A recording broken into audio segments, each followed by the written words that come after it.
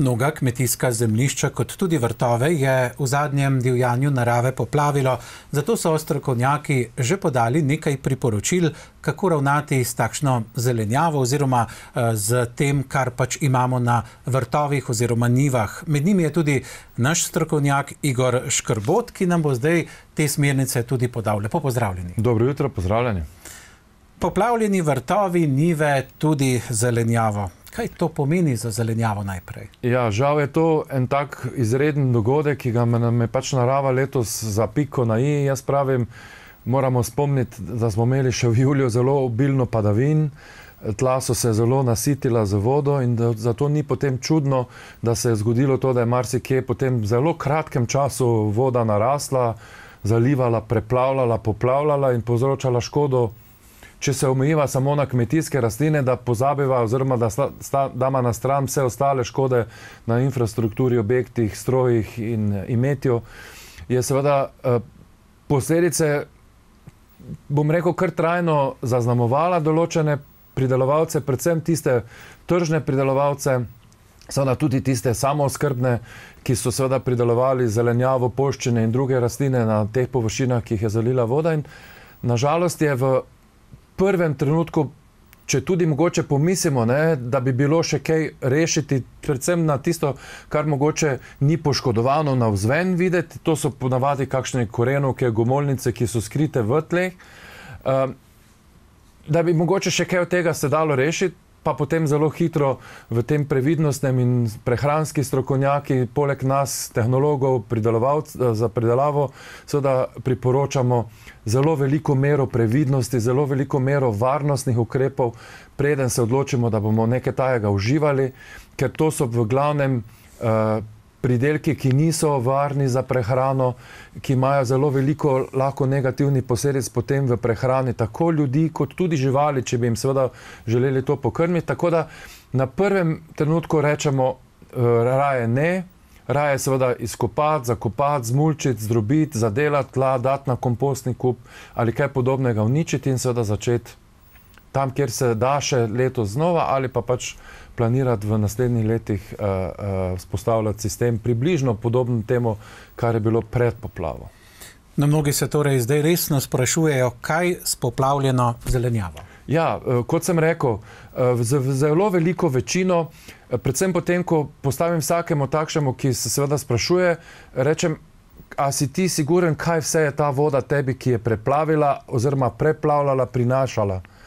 Pa seveda v en glas rečemo, da seveda ne moremo vedeti, ker m, je prinašala vse živo in je odplaknevala gor vodno do tam, kjer je pač poplavljala lahko marsikaj, nečistoče mehanske, nečistoče kemijske, biološke in vse to je seveda nekje tam ostalo, ker potem, ko se je voda počasi otekala, se je to odlagalo in je seveda eh, tam. In če so seveda zelenjadnice tiste, ki jih v večini primerov jemo lahko, potem, ko jih operemo, čistimo surove, je to toliko bolj razumljivo, da rečemo raje ne s takšno zelenjavo na krožnik, kot pa jo jesti. Mogoče z določenim premislekom tam, kjer mogoče res vemo, da je voda samo preplavila, tekla in nič gor vodno ni bilo, eh, neke kemijske eh, onesnaženosti, neke biološke, karkoli že pač, da pomislimo, da bi recimo kak krompir skuhali eh, ali za lastno prehrano ali za prašiče, pa še tam stakič rečem, preizkusite, seveda ga prerežite, ga povonjajte, opazujte ga, ko ga boste izkopali. Če se bo karkoli seveda začelo z njim sumljivega na vzven dogajati, da bodo se pojavljale kakšne bolezni, plesni ali karkoli že na oko vidnega, potem seveda v tistem trenutku to uh, uh, priporočamo odstraniti in ne uporabljati. Tako da v glavnem uh, iz tega previdnostnega, varnostnega ukrepa vsi strokovnjaki, ki se pač s tem ukvarjamo, rečemo raje ne, to ni varno za prehrano, ne ljudi, ne živali, kot pa karkoli v vključevanje v obrok ali živali ali ljudi. No, priporočila Igor pravijo, korenovke, gomolnice, stročnice, plodovke. Mogoče, Mogoče ja. predvsem, uh, predvsem se moramo najprej vprašati, kako dolgo in kako močno so bile seveda poplavljene in s kakšnimi vodami. Ne, primer, ki sem ga uh, uh, imel ravno včeraj, ko so me spraševali z terena, 3, 4, 5 dni je stala poplavna voda še na nivi krompirja, kaj je storiti s krompirjem. Je seveda jasen odgovor, da takšen krompir ni primeren za prehrano ljudi in živali. zato je seveda Uh, pogojno, ne? zdaj tam, kjer je samo nek hudurnik prinesel neko hudurniško vodo, pa je voda že v dopodanskem času tistega petka, uh, sobote, najkasneje to odtek, od, od, odšla, tam bi jaz seveda rekel, da mogoče je še neko upanje, ker je seveda v nekih tleh, če so seveda ta tla nasuta z nekim materialom, je seveda treba najprej s tem materialom priti do tega in potem seveda uh, v času, ko se seveda tla odsedijo, osušijo, to čim prej izkopati, ne puščati v tleh eh, in seveda potem spremljati, prebrati tisto, kar je poškodovano, kar je eh, še primerno recimo na oko.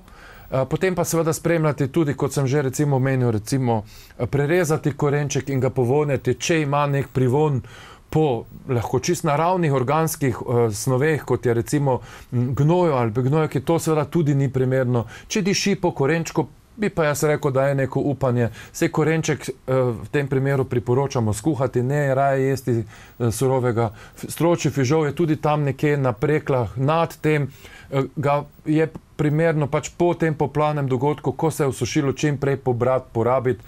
Tudi če je še voščeni zrelosti, ga seveda lahko shranimo v zamrzovalni omari, prekuhanega, surovega. Če je že zrel, ga pač posušimo in ga seveda spet pred jedjo ga bomo kuhali in takrat seveda, uh, uh, uh, ker ni prišel v stik z poplavno vodo, uh, mi menimo, da je lahko uporaben. In podobno pri plodovkah, ne? paradižnik, ki je seveda na metru, pa pol, dveh metrih na uh, uh, rastlini, pa je bila voda tam samo 10, 20, 50 cm in ni prišel v stik s poplavno vodo. Je seveda dobro pobrati, pospraviti, kar je dozorelo, vse ostalo, zelene dele, seveda obrati, porezati, odstraniti in pač pustiti. Uh, Pa seveda uh, um, porabiti, ko bo dozorel pod pogojem, da seveda tam ni spet tista voda bila seveda jasno, zelo vidno onesnažena, da vemo, da je gor vodno odneslo ne vem, neko uh, mineralno olje ali pa kurivo ali pa še kakšna druga onesnaževala. Če se seveda to ve, potem tudi takšen paradižnik in takšen plod. Takšen plod, če, tudi če ni prišel v stik z, z poplavno vodo, jaz odsvetujem uporabljati, pa pač za vreče. Kaj pa listnata zelenjava? Ta pa v vsakem primeru uh, je prihajala v stik, to je bilo, tudi če je bilo zelo nizko poplavljena tekočina, to je seveda zelenjava, ki jo jemo oprano, svežo, brez, vsaj v glavnini primerov toplotne obdelave, ni primerna in ni varna, je pač potrebno odstraniti, dati nekam na kompostni kup. Uh, mnogi potem tudi seveda zmeljajo, zdrobijo, zadelajo v tla, na tak način vrnejo neki del organske snovi. Ampak jaz pravim pri, pri vseh teh stvarih spet, kaj je tista voda, odvisno kaj je prinesla. Če je seveda bila potencialno bolj onesnažena, kot pa ne, je bolje to odstraniti iz tistih tal, tudi uh, podobno um, z vsemi naplavinami, ki jih je prinesla in pustila, da ne bi uh, ta, do, do poplave godna za zel, pridelavo zelenjave primerna tla, seveda potem dodatno obremenili z nekimi uh, onesnaževali poplavljeno zelenjavo, oziroma vse ostalo je treba odstraniti. Ja. Kaj pa samo zemljišče, kaj postoriti potem, ko se zadeve posušijo? Mm, najprej pač seveda potrebno počakati, da pride do, do primerne usušenosti, da ne bi seveda z, tudi če hodimo, tudi če imamo laže stroje, če imamo še, teže stroje, še posebej tla dodatno struk, z, v strukturi uničevali, da pač ta voda ali oteče po profilu v globino ali oteče površinsko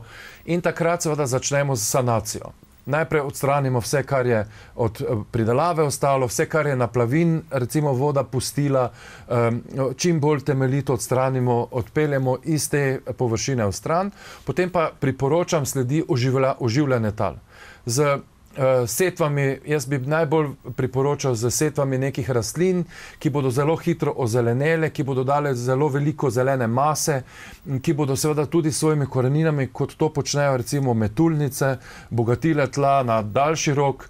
Da ne bodo recimo ljudje zdaj samo sejali teh, ki so neprezimne, pa jih bo že zima nesla, bi jaz svetoval, da uporabijo tudi kaj uh, prezimno trdnega, da prezimi in da raste potem še v naslednji pomladi, ker marsikje bo iz previdnostnega razloga svetovano, da pustijo tudi v naslednjem letu počivati takšna tla, da jih naj takšne rastline zelo dobro tudi s svojimi koreninami, uh, pa izločki, ki jih v tla puščajo omenjene stročnice recimo in z vsem tem nadzemnim delom, če če bomo ocenili, da so seveda rasla v neokuženih, ne, onesnaženih tleh, zdrobili in zadelali na tak način, nesli svežo organsko maso, dali mikroorganizmom hrano, ti bodo seveda to predelovali nam seveda na nek relativno kratek čas, mogoče enega leta, dobrega leta pa pol, obogatili in seveda očistili. Ker, ker mikroorganizmi v tleh so tisti pomočniki obdelovalcev zemlje, ki seveda na katere lahko računamo, da bodo porabili za svojo prehrano tudi tisto, kar je recimo za nas ali pa za živali lahko škodljivega. Ne? In oni to seveda predelajo na neškodljive substance, preprosto rečeno na neke pline in neke snovi, ki jih seveda potem lahko rastline tudi pojedo.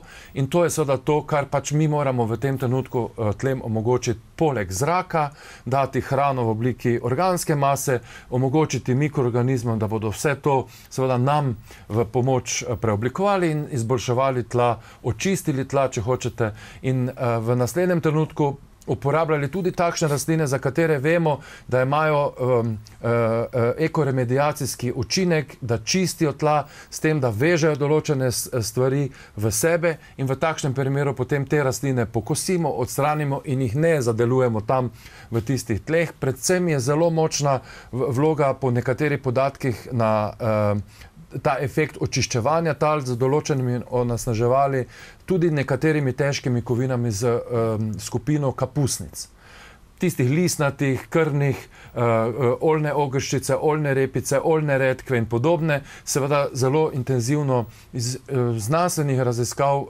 dokazano vežejo v svoje nadzemne dele m, te onasneževala, potem pa mi to seveda pokosimo in odstranimo na nek način, na nek kompostni kup, tam predelamo in recimo s tistim gnojimo neke rastline, ki jih ne uživamo za jest, ampak recimo samo uživamo v cvetovih, v listih, okrasnih rastlinah, rastlina, za tiste to ni seveda sporno, za uh, pridelavo hrane so pa takšne uh, kompostne mešanice potem lahko dodaten uh, material vnašanja teh onosnaževal čez leta nazaj.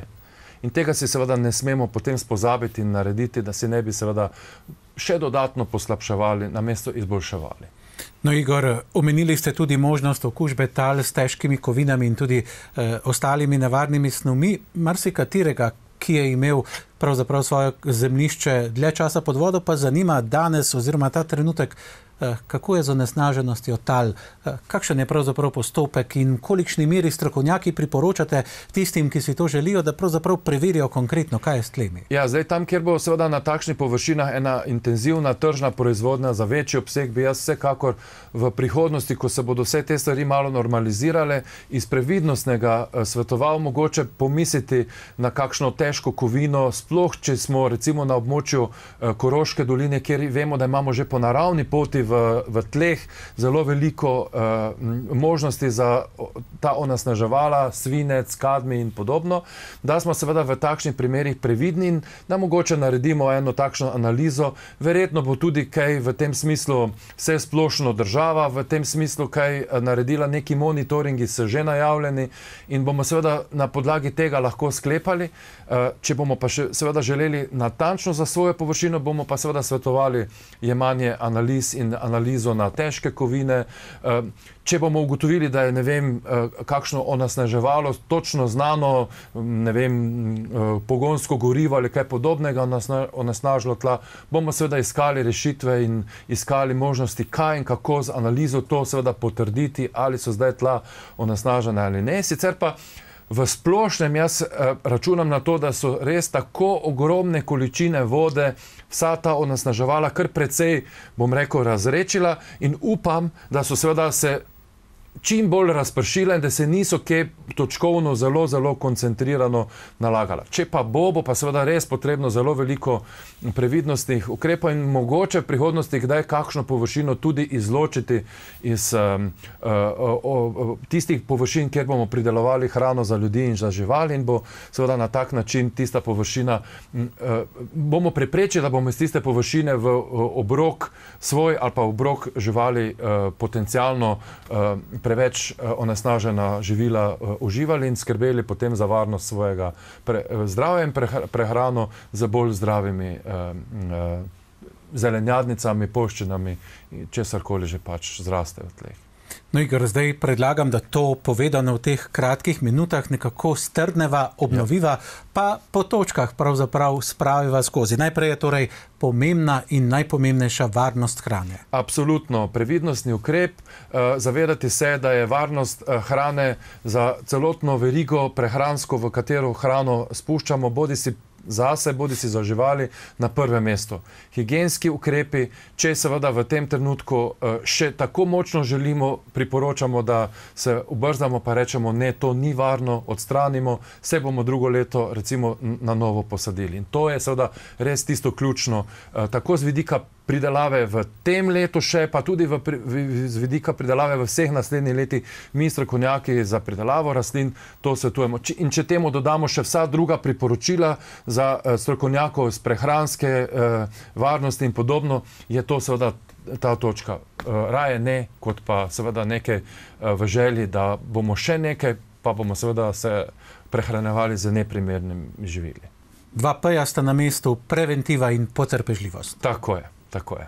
No, če greva naprej, potem pa je že načrt treba narediti za Ja, jaz, bi, jaz bi seveda eh, usmeril mogoče še eno pozornost tudi na, na tehnološka navodila, ki smo jih mi recimo izdali, v katerem eh, tudi te stvari na nek način opišemo, dostopna so na vseh spletnih straneh kmetijsko-gozdarskih zavodov, kmetijske zbornice, ministerstva in podobno. In potem znotraj tega zelo hitro pridemo tudi do načrta, ne? kaj in kako eh, re, revitalizirati, očistiti, oživiti takšna tla, če hočemo tudi na nek dolgi rok jih lahko očistimo in tukaj bomo v prihodnosti verjetno verjetno veliko znanja potrebovali, delili, iskali in eh, seveda uh, potem med pridelovalce tudi plasirali, zato da bo seveda uh, takšnemu kmetu, tudi če je zdaj v tem trenutku zelo slabo izgleda, ker je pač narava naredila res močno uh, vidne negativne posledice, omogočili približno vrnitev v neko stanje do uh, trenutka, ko se je poplava zgodila. In takrat bo takšen načrt res pomemben. Uh, že to, da bo seveda nekaterim predelovalcem odsvetovana določena gojitev določenih uh, zaradi vezave onesnaževal uh, uh, rastlin, bomo priporočali tiste, ki pa seveda sodijo v ono kategorijo, da niso problematične. In to bo seveda v nekem takem načrtu, bodi si individualno ali pa masovno, seveda povedano in potem upoštevati na nivoju vsake kmetije, vsakega pridelovalca posebej. No, strokovnjaki, Igor, koliko razumem, pravzaprav na daljši rok ne vsej v eh, povprečju ne pričakujete kakšne močne onesnaženosti. Eh, je pa ključno zdaj to obdobje, kot sva rekla, konec poletja, pa jesen, da uredimo vse, da bo drugo leto vse kot je bilo. Res je, to je zelo pomembno, da v tem trenutku pač več energije vložimo v sanacijo, v pripravo tega, ker letošnje leto, ne glede na to, da se zdi, v tem tednu imamo še krasno vroče poletje, da je še vegetacija, ampak dan se krajša, mim grede bo september, takoj bo tukaj potem eh, po šo, začetku šole že oktober in potem se seveda vegetacija v glavnem zaključuje. In, uh, v tem času nimamo prav veliko več možnosti, sploh ne pri um, zelenjadnicah, da bi še ne vem kaj grozno uh, raznolikega lahko posadili. Veliko bolje je, da res naredimo to preventivo, čiščenje, pripravo za počitek, za aktivacijo tal in za raje načrt pridelave v naslednji uh, vegetaciji, to je v 2024. V kolikšni meri pa bo potem uh, to dogajanje vplivalo na letošnjo samo skrbo pri nas? Ja, bojim se, da bo kar precej, predvsem, če pogledamo vse te prizadete, ki jim je poleg uh, uh, hiš in gospodarskih objektov vse ali poškodovalo ali jih odneslo, odneslo tudi vso rodovitno zemljo v, v, vrtu ali marsikaj tudi na nivi, so ostali tudi brez tega. In tam bo seveda potrebno poiskati neke vire za ozimnico in za prehrano iz drugih koncev Slovenije in javljajo se že posamezniki, kjer niso utrpeli poškodb, da bodo pa so že tudi donirali. In na tak način bomo v tem segmentu seveda uh, si pomagali. Dejstvo pa je, da vsi ti samooskrbni vrtovi, pa tudi tisti profesionalni predelovalci, ki jim je odplaknilo vse, kar so pač želeli še do konca letošnjega leta, pa še v nadaljevanje štiri, leta 2024 prodajati, oskrbovati nek lokalni trg na tržnici, kjerkoli že pač v trgovini, kamor so bili vezani recimo s kako pogodbo, da bo tukaj seveda zmanjkalo in da bomo seveda morali previdno uživati hrano uh, iz svojih zalog iz preteklosti, če so ostale, ali pa seveda iz lokalnega drugega območja, ker pač niso utrpeli. Imamo tudi takšne uh, uh, območja uh, poplave in ker ni bilo nas onesnaženosti. Marsikdo je po tistih julijskih neurjih stočil takrat posadil in zdaj zelo lepo zadeva raste. In samo si želimo, da ne bi bilo več kakih drugih škodnih dogodkov, um, kot je toč ali pa vihar, da vsaj tam zraste in da bomo na nek način poskušali uravnavati. Uh, mislim pa, da bo samo skrba. Uh, Ne vem, ali bomo to uspeli statistično zaznati ali ne. Eh, Kolikor jaz tako pač slišim in vidim z terena, bo zagotovo mm, eh, poslabšana, zmanjšana, ker na nivoju vsakega individualnega, ki je bil tako oškodovan, pa nima zdaj vrta, eh, pa je vse moral uničiti oziroma pospraviti, pomeni, da se ne bo mogel samo oskrbovati. No, na mestu pa je vendarle za vnaprej zmeren optimizem, svoje bo morala pridati država, strokovne službe itak pomagate, potrpežljivost vsakega izmed nas, ki imamo kak košček zemlje, pa bo tudi obrodila sadove. Ja, ja se jaz v vsakem primeru uh, uh, rečem, najprej pač treba realno pogledati, potem je pa treba optimistično zastavljati plan in načrt, kako, kaj reševati, individualno seveda prilagajati, uh, očistiti, spostaviti čim prej sistem, obogatiti, prezračiti, vse to, kar so danes povedala, zato da bo že v naslednjem letu marsikje precej normalno, uh, bomo seveda samo z grenkim spominom se spominjali to, kaj se nam je letos dogajalo, dogajalo, pa si želeli. Meni se je letos še pred to poplavo zgodilo, da so mi določeni predelovalci rekli: Joj, kaj bi jaz dal za lansko sušno leto, letos nas pa moči, pa nam vse uničuje, in bolezni, in škodljivci, in potem seveda še vsa ta poplava. Nismo mogli žiti požet.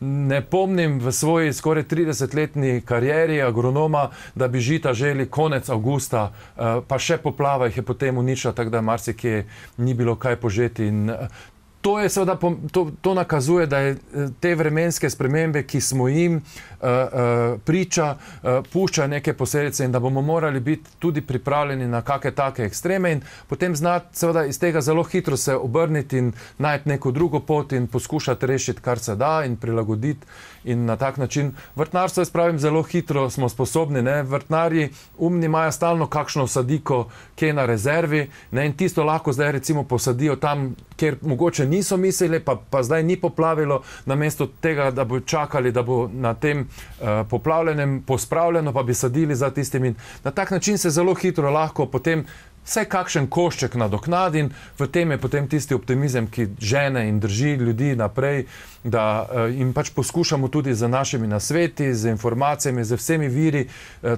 pomoči takšne in drugačne strani države, z našim znanjem, z našimi informacijami pomagati, da bo pač ta črnogleda, črnogledi dogodek res samo en spomin in da bo že mogoče čez mesec, dva uh, bolj optimistično zrli prihodnost. No, strokovne smernice so torej pri tem in spremljanje vas, strokovnjakov, ključne. Zato, seveda, še enkrat eh, velika hvala za vse te oddaje. Naslednji zgodbo nadaljujemo, za danes pa hvala lepa in srečno. Enako hvala, nasvidenje. Prosim.